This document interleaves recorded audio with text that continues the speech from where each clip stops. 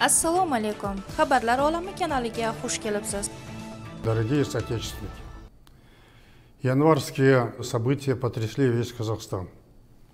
Целью этих организованных беспорядков и атаки на Казахстан было разрушение целостности страны и устоев нашего государства.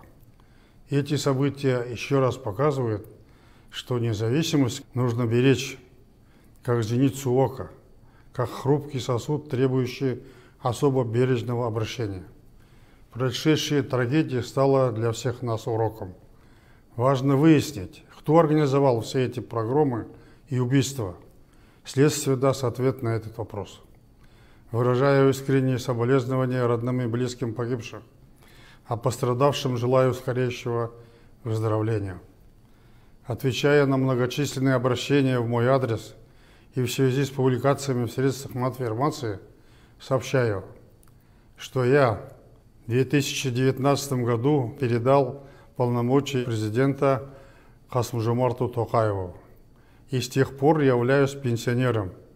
И в настоящее время нахожусь на заслуженном отдыхе в столице Казахстана и никуда не уезжал. Президент Хасмужамарт Токаев обладает всей полнотой власти. Он председатель Совета Безопасности. В скором времени он будет избран председателем партии Нурутан.